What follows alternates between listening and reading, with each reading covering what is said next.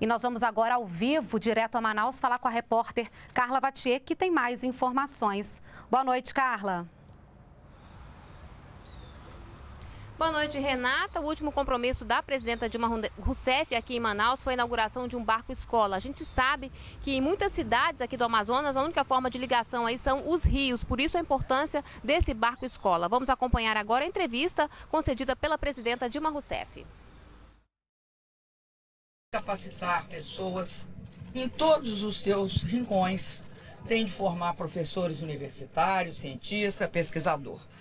Mas tem de capacitar brasileiros e brasileiras em todos os rincões desse país. Esse barco é para capacitar em várias áreas, na área de tecnologia da informação, na área de manutenção.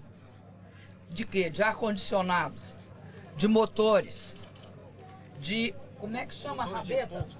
Rabetas, eu quero falar da rabetinha, rabetinha dos motores de popa. E também eu é uma coisa que eu acho fundamental em muitos lugares aqui na Amazônia e no estado do Amazonas, nós vamos precisar de energia limpa. Uma das energias mais limpas é a solar fotovoltaica. Ela tem um grande problema na manutenção. É muito caro você manter uma, é, você ter uma manutenção espalhada pelo interior aqui da Amazônia. É muito caro. Deu qualquer problema.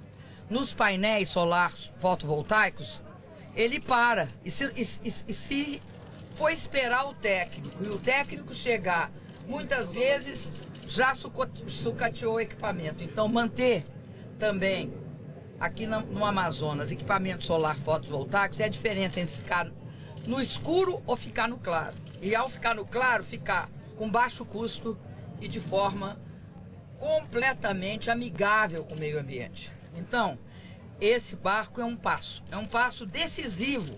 Ele aponta para o futuro do país. O futuro do país está aqui, na formação de pessoas e na educação de pessoas. Serve de modo para esse país? Serve.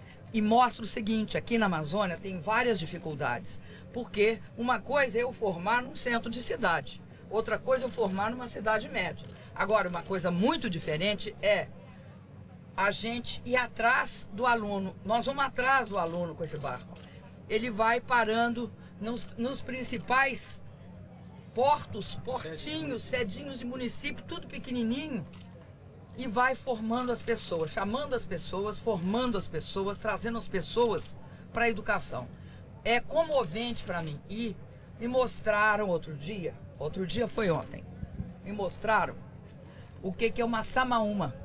Uma samaúma é uma árvore das mais altas aqui da Amazônia. Ela é uma árvore belíssima porque ela luta, pra, eu acho, para chegar no sol, né? para receber quanto mais sol, melhor. Aqui nós estamos lutando também para receber quanto mais conhecimento, melhor. O nome é perfeito, Samaúma 2. E a presidente já autorizou a construção do terceiro barco, hein? Já está autorizado, já autorizou Autorizei o terceiro, o terceiro barco, Samaúma. Um beijo para você.